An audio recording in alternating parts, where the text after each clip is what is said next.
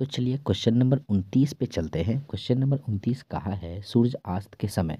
यानी सूर्य जब डूबते रहता है, यानी सूर्य अस्त जब हो रहा होता है तो उस वक्त क्या होता है कि उसके समय क्षैतिज के नीचे चले जाने पर भी सूर्य कुछ समय तक दिखाई देते रहता है। आप देखे होंगे शाम के समय में सूर्य असल में वो क्षैतिज यानी पृथ्वी के सामने से नीचे चला जाता है।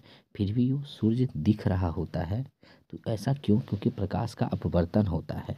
यानी सूर्य डूबने में दो मिनट का देरी करता है और सुबह में सूर्य दो मिनट पहले ही दिखने लगता है। तो ये चीज़ें आपको ध्यान रखना है। इसका कारण क्या है? प्रकाश का अपवर्तन। यानी सूर्य जो है उगने लगता है दो मिनट पहले ही और डूबता है दो मिनट देरी से। तो ये याद रखना है, सूरज की जो है ऐसा होता है प्रकाश के अपवर्तन के कारण। चलिए क्वेश्चन नंबर तीस पे चलते हैं। यदि उत्तर लेंस के सामने वस्तु टू एफ़ पर रखी जाए तब उसका प्रतिबिंब कहाँ पर बनेगा? तो टू एफ़ पर ही बनेगा। ये आपको ध्यान रखना है कि उत्तर लेंस में कोई भी वस्तु जो है, अगर वो टू एफ़ पे रखी हुई है तो प्रतिबिंब भी टू एफ़ पे ही नीचे बनता है और वास्तविक बनता है। तो ये वस्तु के बराबर भी बनता है। तो इस तरीके से याद रख सकते हैं।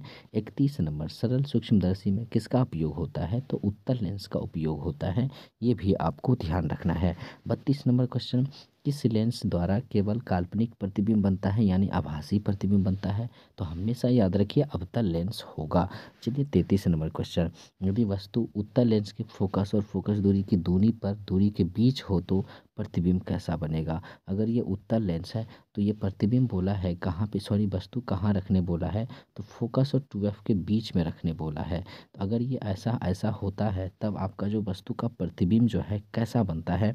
तो ये भी आप जानते हैं एफ़ और टू एफ़ और इनफाइनाइट तो यानी अगर वस्तु अगर टू एफ़ और एफ़ के बीच है तो प्रतिबिंब आपका टू एफ़ और इनफाइनाइट के बीच बनेगा और उल्टा बनेगा और वस्तु से बड़ा प्रतिबिंब बनता है। तो ये आपको ध्यान रखना है वास्तविक, यानी उल्टा और वस्तु से बड़ा प्रतिबिंब बनता है। क्वेश्चन नंबर चौंतीस। उत्तर लेंस को डैश लेंस भी कहा जाता है अभिसारी लेंस कहा जाता है। अपसारी लेंस किसको कहते हैं? अवतल लेंस को कहते हैं। क्वेश्चन नंबर पैंतीस। लेंस की क्षमता व्यक्त की जाती है तो फोकस दूरी के व्युत्क्रमानुपाती मतलब लेंस की क्षमता बराबर होता है वन बटे एफ़ यानी फोकस दूरी के उल्टा होता है। क्वेश्चन नंबर छत्तीस। उत्तर लेंस द्वारा आवर्धित काल्पनिक प्रतिबिंब तब बनता है जब वस्तु रहती है फोकस और ध्रुव के बीच, यानी आपको क्या पता होना चाहिए? फोकस और लेंस के बीच मतलब ध्रुव के बीच, यानी उत्तर लेंस में वस्तु जो है, वस्तु से बड़ा प्रतिबिंब तभी बनता है जब फोकस के अंदर और ध्रुव के बीच में आप, यानी लेंस के बीच, यानी फोकस के बीच जब वस्तु आप रख देते हैं तो उस वस्तु का प्रतिबिंब आवर्धित मतलब बड़ा और काल्पनिक और सीधा बनता है। क्वेश्चन नंबर सैंतीस। सघन माध्यम से विरल माध्यम। सघन माध्यम मतलब गहना। कोई गहना माध्यम और हल्का मतलब कम भीड़ वाला माध्यम, जैसे हवा हुआ, विरल माध्यम, कांच हुआ, सघन माध्यम। तो इस तरीके से बोला है कि कोई सघन माध्यम से विरल माध्यम में गमन करती है तो आपतन कोण और अपवर्तन कोण में क्या संबंध होता है? तो क्वेश्चन ये है कि मान लीजिए कोई सघन माध्यम है, ये मान लीजिए ये, मान लीजिए ये कांच है, कांच से आपका प्रकाश जो है हवा में आ रही है। मतलब कांच से यानी सघन माध्यम से विरल माध्यम में आ रही है। तो प्रकाश की किरणें जो है नॉर्मल से दूर चली जाती है, अभिलंब से दूर चली जाती है। यानी आप देख सकते हैं ये अपवर्तित किरण और अभिलंब के बीच बने कोण को अपवर्तन कोण कहते हैं, जिसको आर से डिनोट करते हैं। और ये आपतित किरण और अभिलंब हो गया तो एंगल ऑफ़ आई मतलब आपतन कोण ये हो गया। तो आपतन कोण से ज़्यादा बड़ा हो गया है अपवर्तन कोण? तो यहाँ पे एंगल ऑफ़ आर जो है आई से बड़ा होगा सी नंबर आंसर होगा। चलिए क्वेश्चन नंबर अड़तीस। प्रकाश की चाल सबसे अधिक कहाँ होता है? वायु में और निर्वात में ही सबसे अधिक होता है, यानी डी नंबर आंसर होगा। बी और सी यहाँ पे सॉरी बी और सी नहीं है। यहाँ पे और केवल और केवल यहाँ पे निर्वात यानी शून्य होगा। यहाँ वायु भी होना चाहिए आंसर वायु निर्वात में अधिकतम होता है तो मेरे अनुसार बी भी आंसर होगा और सी भी आंसर होगा। चलिए क्वेश्चन नंबर उनचालीस। लाल और नीले वर्ण की किरणें के कांच की सतह पर वायु में आपतन कोण समान है? कांच अपवर्त कांच में अपवर्तन कोण क्रमशः आर वन और आर टू है? मतलब ये हुआ कि लाल रंग के लिए जो अपवर्तन कोण है, वो आर वन है और नीले नी ब्लू कलर का जो रंग है, वर्ण है, उसका अपवर्तन टू है। तो अपवर्तन जो है कौन टू है। तो यहाँ पे सबसे ज़्यादा विचलन जो होता है वो नीले रंग में होता है। ब्लू कलर का विचलन अधिक होता है मतलब अपवर्तन कौन उसमें अधिक होगा आर वन से। यानी आंसर इसका हो जाएगा, कौन होगा? तो आर टू ज़्यादा होता है, सी नंबर आंसर होगा। आर टू मतलब नीले रंग में विचलन का मान अधिक होता है, प्रकाश अधिक विचलित होती है मतलब अधिक अपवर्तित होगी। चलिए क्वेश्चन नंबर यहाँ पे हो जाएगा। चालीस के बाद यहाँ पे चालीस होगा, यहाँ पे मिसप्रिंट है, चालीस होगा। एक गोलिया दर्पण और पतले लेंस में से प्रत्येक की फोकस दूरी प्लस पच्चीस सेंटीमीटर है। तब वह क्या है? यानी कोई भी गोलीय दर्पण हो, उत्तल दर्पण भी अगर आपको याद है तो उत्तल दर्पण का भी फोकस जो है दाएँ साइड होता है। और आप देख सकते हैं कि उत्तल लेंस का भी आपका जो फोकस होता है दाएँ साइड होता है। और जो दाएँ साइड दूरी होता है, वो धनात्मक होती है। तो यहाँ पे दोनों का, दोनों ही उत्तल होगा, जबकि यहाँ पे प्लस में है। यानी दोनों ही आंसर इसका उत्तल का होगा ए नंबर आंसर होगा, क्योंकि फोकस दूरी दोनों में प्लस होता है उत्तल में ही। चलिए इकतालीस नंबर क्वेश्चन। आभासी प्रतिबिंब का निर्माण होता है और यह आभासी प्रतिबिंब का निर्माण जो होता है उत्तर लेंस में भी हो सकता है और अवतल लेंस में तो हमेशा ही होता है आभासी तो इसका आंसर उत्तल और अवतल दोनों आंसर होगा, इसलिए सी नंबर आंसर होगा। लेंस की क्षमता पी बराबर होता है वन बटे एफ़, आपको ये मालूम होना चाहिए पी बराबर वन बटे एफ़, लेकिन ये फार्मूला कब होता है? जब मीटर में फोकस दूरी दिया रहे। सेंटीमीटर में जब फोकस दूरी रहता है, तब उस वक्त जो होता है एफ़ सेंटीमीटर, यानी हंड्रेड बटे एफ़ होता है। जब सिर्फ़ मीटर में फोकस दूरी रहता है, तब सिर्फ़ वन बटे एफ़ होता है पावर, यानी लेंस की क्षमता। चलिए तैंतालीस नंबर क्वेश्चन। लेंस की क्षमता का ऐसा ही मात्रक डायोप्टर होता है या मीटर इन्वर्स होता है, आप दोनों याद रख सकते हैं। पानी के भीतर तैरते मनुष्य को किनारे पर स्थित मीनार की ऊंचाई कैसी लगेगी? तो ज़्यादा बड़ा लगेगी। ये आपको प्रकाश का अपवर्तन का उदाहरण है तो याद रखना है। पैंतालीस। शीशे के स्लैब से जब प्रकाश का अपवर्तन होता है तो उसमें विचलन पैदा होती है कि विचलन पैदा नहीं होती है कि पार्श्व विस्थापन होता है। और डी नंबर में बोला है, विचलन तो नहीं होता, पर पार्श्व विस्थापन होता है। तो आंसर इसका डी आंसर होगा। अब देखे होंगे कि शीशा का जो आयताकार, यहाँ पे शीशा होता है, आयताकार शीशा तो उसमें क्या होता है कि प्रकाश की किरणें जैसे, जिस जिस एंगल से आती है, उसी एंगल से चली जाती है। लेकिन अपने कुछ रास्तों से विचलित होकर के सॉरी पार्श्व विस्थापन होकर विस्थापित मतलब खिसक करके निकलती है। तो ये आपको ध्यान रखना है, डी नंबर आंसर होगा। छियालीस नंबर, निम्नलिखित में कौन सी वस्तु वास्तविक प्रतिबिंब बना सकता है? तो यहाँ पे सिर्फ़ और सिर्फ़ उत्तल लेंस होगा। अवतल तो हमेशा आभासी बनाती है। क्वेश्चन नंबर सैंतालीस, प्रकाश की एक किरण जब विरन माध्यम से सघन माध्यम में जाती है तो वह होती है अभिलम्ब से दूर हो जाती है या अभिलम्ब की ओर मुड़ जाती है। तो आपको याद रखना है, जब विरन माध्यम से प्रकाश की किरणें सघन माध्यम में जाएगी, तब अभिलम्ब की तरफ़ मुड़ जाती है तो आंसर इसका डी हो जाएगा। चलिए क्वेश्चन नंबर अड़तालीस पे चलते हैं। जब प्रकाश की एक किरण एक माध्यम से दूसरे माध्यम में जाती है तो अपने पूर्व पथ से विचलित हो जाती है। इसे कहते हैं प्रकाश का अपवर्तन। तो ये आपको बेहतर तरीके से याद रखना है। प्रकाश अपने एक माध्यम से जब दूसरे माध्यम में जाती है, देखते होंगे जब प्रकाश की किरण एक माध्यम से दूसरे माध्यम में जाती है तो अपने रियल पाथ से मुड़ जाती है, चाहे वो अभिलंब से दूर हो जाए, चाहे अभिलंब की तरफ़ मुड़ जाए और यही घटना प्रकाश का अपवर्तन कहलाता है। क्वेश्चन नंबर उनचास।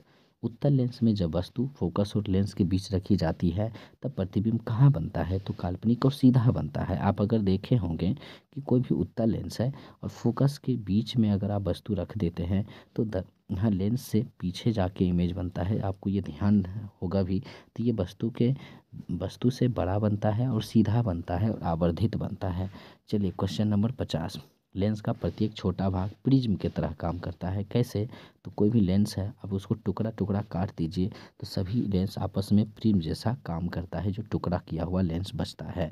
चलिए क्वेश्चन नंबर इक्यावन। उत्तर लेंस के सामने एक बिंब को, यानी प्रतिबिंब नहीं, प्रतिबिंब मतलब होता है वस्तु, यानी उत्तर लेंस के सामने एक वस्तु को, लेंस के फोकस और प्रकाशीय केंद्र मतलब ध्रुव के बीच रखा जाता है तो प्रतिबिंब बनता है। यहाँ पे ध्रुव ऑप्शन जो है, यहाँ पे ध्रुव लेंस में नहीं होता है, ध्रुव को प्रकाशीय केंद्र बोला गया है तो समझने के लिए आप ध्रुव समझ सकते हैं।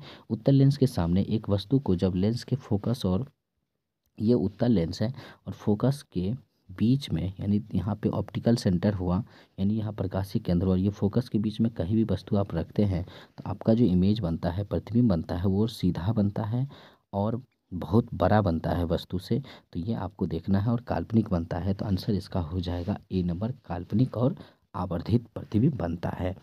बावन नंबर क्वेश्चन यदि वायु के सापेक्ष कांच का अपवर्तनांक, यानी वायु के सापेक्ष कांच का मतलब ग्लास का अपवर्तनांक जो है, एयर के, यानी हवा के अपवर्तनांक के कंपैरिजन में मतलब एयर के अपवर्तनांक के सापेक्ष ग्लास का अपवर्तनांक का जो मान है, एक दशमलव पाँच दिया है। तो पूछा है कि कांच के सापेक्ष वायु का अपवर्तनांक मतलब वायु का अपवर्तनांक किसके सापेक्ष? तो ग्लास यानी कांच के अपर तो ये जस्ट इसका उल्टा हो गया है, आप देख सकते हैं। यहाँ पे म्यू जी बट्टे म्यू ए का मान दिया है, एक दशमलव पाँच, और पूछ दिया है उलट करके म्यू ए बट्टे म्यू जी का, ये हो जाएगा। इसका आंसर भी उल्टा, एक दशमलव पाँच आंसर हो जाएगा। तो आंसर इसका डी होगा, एक बटे एक दशमलव पाँच। तिरपन नंबर क्वेश्चन बीस सेंटीमीटर फोकस दूरी वाले लेंस की क्षमता होगी। अब यहाँ पे सेंटीमीटर में दिया है तो सेंटीमीटर वाला फार्मूला अप्लाई होगा। यहाँ पे सेंटीमीटर में होता है हंड्रेड बटे एफ़ सेंटीमीटर। तो हंड्रेड बटे एफ़ का मान कितना है? बीस। तो यहाँ पे कट करिएगा तो पाँच डायप्टर आंसर हो जाएगा। चलिए, अब यहाँ पे पाँच प्लस वाला होगा कि माइनस वाला? तो आपको याद होना चाहिए कि यहाँ पे फोकस दूरी जो है यहाँ पे कोई लेंस नहीं दिया। अगर यहाँ उत्तर लेंस दिया रहेगा तो पाँच डायप्टर होगा। अगर अवतल लेंस दिया रहेगा तो माइनस पाँच डायप्टर आंसर होगा, क्योंकि अवतल लेंस का फोकस दूरी अर्थात लेंस की क्षमता ऋणात्मक होता है। उत्तर लेंस का फोकस दूरी धनात्मक होता है, यानी लेंस की क्षमता भी धनात्मक होगा। चौवन नंबर क्वेश्चन एक उत्तर लेंस को 30 सेंटीमीटर की दूरी पर एक वस्तु को रखी जाती है। ये उत्तर लेंस है और उसके 30 सेंटीमीटर की दूरी पर एक वस्तु को रखी जाती है। चलिए ठीक है।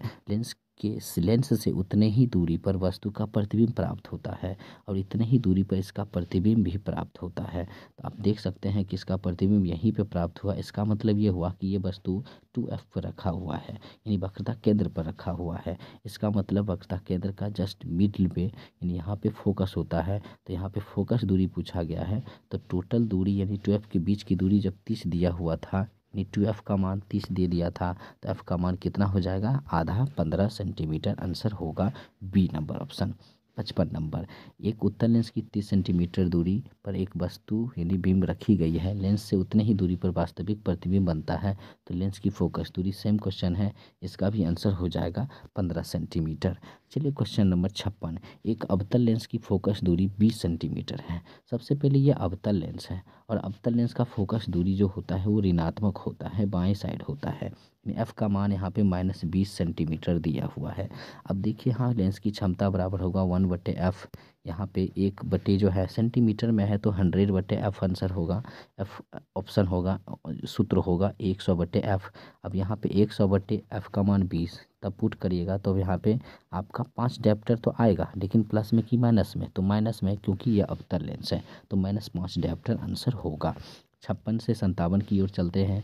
यदि वस्तु उत्तर लेंस के फोकस और फोकस दूरी की दूनी दूरी के बीच हो तो प्रतिबिंब कैसा बनेगा? अब ये उत्तर लेंस है और उत्तर लेंस में वस्तु जो रखा गया है, ये फोकस और फोकस दूरी की दोगुनी यानी टू एफ़ के बीच में कहीं रखा गया है। तो इसका जो प्रतिबिंब बनेगा, वो वास्तविक बनेगा और वस्तु से आपको मालूम होना चाहिए, इधर जो बनेगा, आपको ये पता होना चाहिए। टू एफ़ और इनफाइनाइट के बीच बनेगा और वस्तु से काफ़ी बड़ा बनेगा और उल्टा बनेगा और वास्तविक बनेगा तो आंसर इसका हो जाएगा डी नंबर वास्तविक, उल्टा और बड़ा बनेगा वस्तु से। चलिए क्वेश्चन नंबर अंठावन। जब एक उत्तर लेंस से 20 सेंटीमीटर की दूरी पर वस्तु को रखा जाता है, एक उत्तर लेंस है और 20 सेंटीमीटर की दूरी पर एक वस्तु को रखा जाता है, सही है? उसके बाद बोला है, उस वस्तु का काल्पनिक यानी प्रतिबिंब बनता है, आभासी प्रतिबिंब बनता है लेंस की फोकस दूरी होनी चाहिए। यानी जो है, ये अगर मान लीजिए कि आभासी प्रतिबिंब उत्तर लेंस में तभी बनेगा जब उसका फोकस के अंदर आप रखिएगा वस्तु को। यानी जो ये फोकस दूरी होनी चाहिए वो बीस सेंटीमीटर से अधिक होना चाहिए कि बीस सेंटीमीटर से कम होना चाहिए। तो बिल्कुल अगर ये बीस सेंटीमीटर पे वस्तु को रखा हुआ है, इसका मतलब ये हुआ कि बीस मीटर से, बीस मीटर से कम की दूरी पर यहाँ पे बीस में सेंटीमीटर से अधिक दूरी होनी चाहिए, इसकी फोकस दूरी। तो इसका आंसर हो जाएगा बीस सेंटीमीटर से अधिक। यहाँ बी नंबर आंसर होगा ए नंबर नहीं होगा, क्योंकि अगर यहाँ पे वस्तु ही बीस सेंटीमीटर पे रखी हुई है तो फोकस कहीं ना कहीं ये वस्तु से वस्तु के आगे होना चाहिए, तभी तो फोकस के अंदर वस्तु होगा और इस तरीके से काल्पनिक प्रतिबिंब बन पाएगा। तो 20 सेंटीमीटर से अधिक पर आपको फोकस दूरी रखना पड़ेगा, तभी तो वो काल्पनिक प्रतिबिंब बन पाएगा। तो इस तरीके से उनसठ नंबर क्वेश्चन पे चलते हैं। एक लेंस की क्षमता पाँच डायोप्टर है तो यह क्या होगा? ये प्लस में दिया हुआ है लेंस की क्षमता तो ये उत्तर लेंस होगा। अब यहाँ पे उत्तर लेंस में अब ये फोकस दूरी कितना होगा?